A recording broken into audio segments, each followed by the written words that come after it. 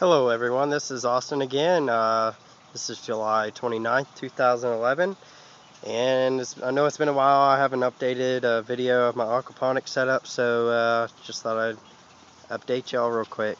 Um, I did have a couple problems uh, there for a couple of days. Um, I had an iron deficiency so I had to get some chelated iron and uh, well I lost, I ended up losing some of my plants and the tomato plant I lost to bell siphon. It wasn't draining and I wasn't home for a couple days so the grow bed stayed flooded and yeah I lost a couple plants but uh, everything's working fine now and I just wanted to show y'all some of the growth.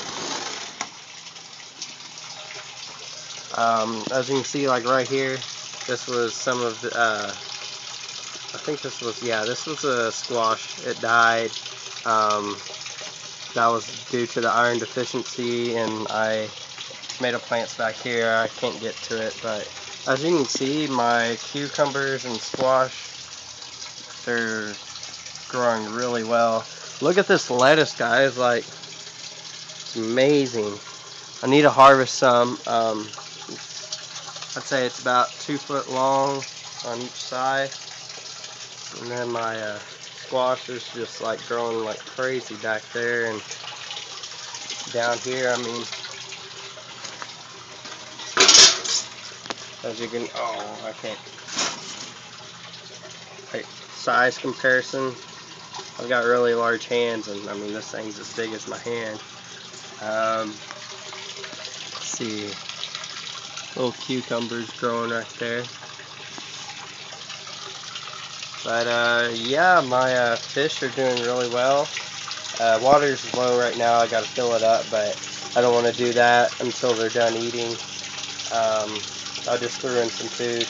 The pacu are gargantuous. Uh, I'll probably update y'all soon about to show y'all some pictures of how big they've really gotten. Um, really, everything's going great. Uh, I have a little Jack Dempsey in here. He's doing real good. Um, he loves to get under these uh, lettuce roots and stuff like that, and he just chills out there. But uh, yeah, there, there goes the bell siphon. Finally got it back back up and working again. Um, but yeah, the other day I was running my hands through the gravel, and seems like the red worms uh, seem to uh, seem to be growing in there and breeding. So pretty surprised with that. But uh, I'll be updating y'all soon. Y'all have a great day. Bye.